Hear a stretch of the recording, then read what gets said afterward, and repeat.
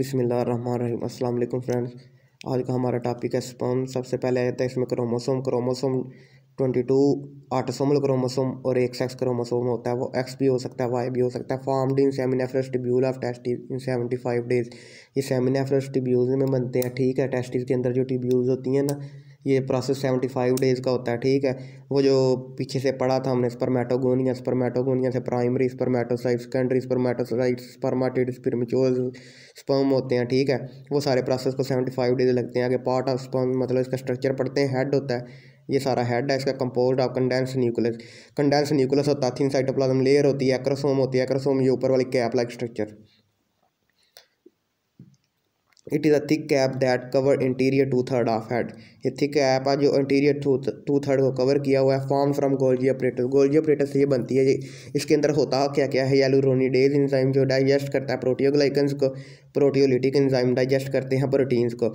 both help fertilization by removing granulosa cell surrounding ovum इन दोनों enzyme का काम क्या होता है जो ओवम होता है ना उसके इर्द गिर्द होते हैं ग्रैनुलोदा सेल्स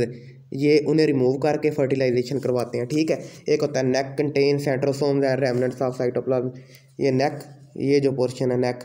इसमें सेंट्रोसोम्स होते हैं remnants of cytoplasm tail tail compose of axoneme central skeleton constructed of eleven microtubule जो कोर ऑफ लेजनम होता है ना माइक इलेवन माइक्रोट्यूब्यूल्स के स्ट्रक्चर से जो मिलकर ना बना होता है ठीक है थिन सेल कवरिंग एक्जोनीम जो साइडों पे लेयर होती है ना थिन सेल मेम्ब्रेन जिसने एक्जोनिम को कवर किया होता है कि ये होता है इसकी जो बॉडी आ जाती है नीचे माइटोकॉन्ड्रिया होता है इनकी प्रॉक्सिमल पार्ट ऑफ टेल्स जो है ना जहाँ से ये स्टार्ट होती है बॉडी की जहाँ से बॉडी स्टार्ट होती है हेड यहाँ पे ख़त्म होता है ठीक है तो उस पोर्शन को, को वहाँ पे माइटोकॉन्ड्रिया प्रेजेंट होता है maturation of sperms sperm seminiferous tubule are physiological immature ये सेमिनेफ्रस ट्यूल में इमेच्योर फॉर्म में होते हैं they are non motile and can not fertilize ovum ये नॉन मोटाइल होते हैं ठीक है एंड कैन नॉट फर्टिलाइज ये ओवन को फर्टिलाइज भी नहीं कर सकते ये प्रोसेस फर्टिलाइजेशन का नहीं कर सकते ठीक है sperm in epididymis are physiological mature they are motile and can fertilize ovum और जो एपिडिडीमस में स्पर्म्स होते हैं ना जब एपिडिडीमस में पहुँचते हैं फिर वहाँ पर जाकर मच्योर होते हैं मोटाइल हो जाते हैं ये फिर जो है ना ये वाले स्पर्म्स फर्टिलाइज कर सकते हैं ओवन को ठीक है maturation is called by special nutrient full secreted by Sertoli cells and epididymis तो that contain hormone enzyme and special nutrients तो मचोरेशन होती कैसे है जो सर्टोली सेल्स होते हैं ना और एपिडिडीमस ये सिक्रीट करते हैं hormones enzyme and special nutrients तो ये फिर इसकी मचोरेशन करवाता है ठीक है मोटाइल करते हैं कि ये फर्टिलाइजेशन करवा सकते हैं ठीक है motility of sperm sperm move by flagellar movement इसकी फ्लैजुलर मूवमेंट होती है ठीक है ऐसे ऐसे movement is called by rhythmic longitudinal sliding between anterior and posterior tubule of axoneme their velocity is one two four millimetre per minute in straight rotating lines की velocity इतने जो है ना स्पीड से ट्रैवल करते हैं one to four millimetre per sec per minute में ठीक है storage of sperms small amount store in epididymis epididymis में जो है ना बहुत स्मॉल अमाउंट में स्टोर होते हैं large amount store in vas deferens at its ampulla vas deferens और एम्पोला जो है इसका ना बल्जिंग जो पार्ट होता है वास्ट डेफरेंस का जहाँ पे एंड होता है उसे एम्पोला कहते हैं यहाँ पे लार्ज अमाउंट में स्टोर होते हैं लाइफ स्पैन इनका पड़ते हैं several month in male genital duct मतलब कि जेनिटल डक्ट में तो सेवरल मंथ के लिए भी जिंदा रह सकते हैं एक तो one two two days in female genital duct but females के अंदर जो है ना एक से दो दिन जिंदा रह सकते हैं ठीक है frozen at minus hundred degree Celsius sperms can live for years अगर इन्हें फ्रोज किया जाए ना माइनस हंड्रेड डिग्री सेल्सियस पे स्पम्स को तो ये सालों तक जिंदा रह सकते हैं सीमन के बारे में पढ़ते हैं सीमन क्या होता है it is the fluid that is ejaculated through urethra at climax of male sexual act तो वो यही है कि वो फ्लूड जो जैकुलेट होता है यूरिथ्रा से ठीक है या मेल सेक्शुअल एक्ट के दौरान ठीक है अब इसमें पढ़ते हैं सीमन के अंदर होता क्या क्या स्पर्म होते हैं secretion of vast afferent seminal vesicles, prostate, urethral gland, bulbourethral gland. Vas deferens मतलब कि 10 परसेंट इसमें स्पर्म होते हैं सेमिनल वेसिकल्स से 60 परसेंट जो फ्लूड होता है ये होता है बाकी इन सब में से 30 परसेंट मिला के हंड्रेड परसेंट ये बन जाता है ठीक है बस इसके अंदर जो है ना 10 परसेंट स्पर्म होते हैं बाकी 90 परसेंट ये जो है ना सिक्रीशन ही होती हैं इसकी P H seven point five होती है appearance milky due to prostate secretion इसकी मिल्की लाइक होती है ये क्या कहते हैं अपीयरेंस जो है ना प्रोस्टेट की सिक्रीशन की वजह से consistency mucoid due to secretion of seminal vesicles and urethra and bulb urethra gland consistency क्या होती है म्यूकाइड फॉर्म में होती है due to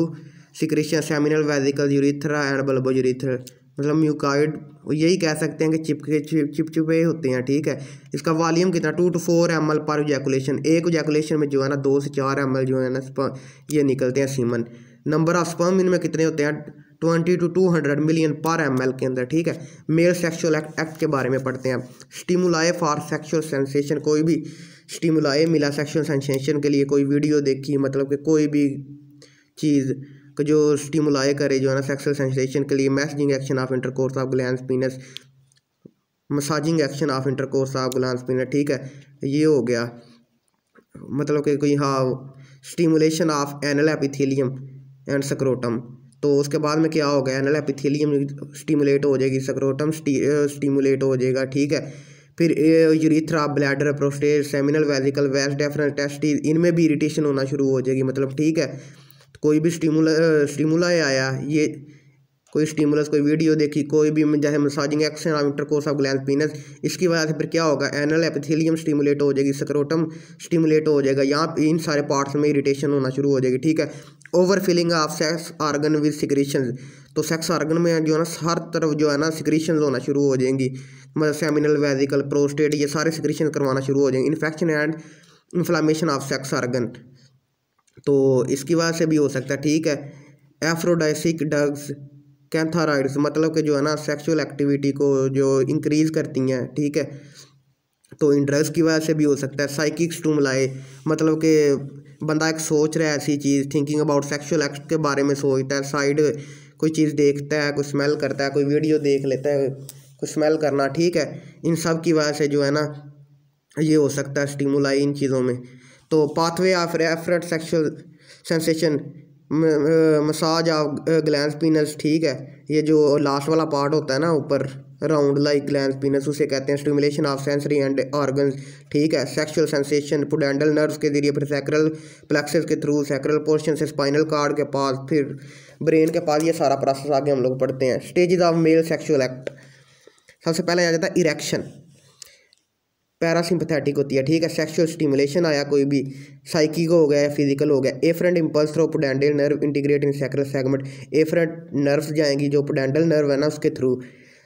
एफरेंट इम्पल्स जाएगी सेक्रल सेगमेंट के पास उसके बाद सेक्रल सेगमेंट से ई फ्रेंट नर्व निकलेंगी क्या कहते हैं उसके बाद पीनस के पास आएंगी फिर पीना वो वो क्या करेंगी जो पैल्विक के ज़रिए आएंगी ना पैल्विक उसके ज़रिए नर्व्स के ज़रिए वो क्या करवाएंगे डायलेट आर्टरीज करवा देंगे arterial blood buildup under high pressure in erectile tissue तो वीनस फ्लो क्लूडेड हो जाएगा आर्टरी डायलेट कर जाएंगे ब्लड ज़्यादा आ जाएगा जो जो वीनस वो वीनस हो जाएंगी उनकी कंस्ट्रिक्शन हो जाएगी erectile tissue balloon up erectile tissue balloon up हो जाएंगे ठीक है penis become hard and elongated erection हो जाएगी हार्ड हो जाएगा पीनस जो है ना सारी चीज़ें मतलब कि इरेक्शन हो जाएगी ठीक है ल्यूब्रिकेशन ये भी पैरासिम्पथेटिक है same parasympathetic impulse that cause erection also stimulate urethral and bulbo urethral to secrete mucus lubricate during intercourse वो यही कह रहा है कि जब वही पैरासिम्पथेटिक वाला प्रोसेस है जब इरेक्शन हो जाएगी स्टिमुलस जाएगा यूरिथ्रा और बल्बो यूरिथ्रा ग्लैंड के पास सिक्रीशन म्यूकस सिक्रीट होगा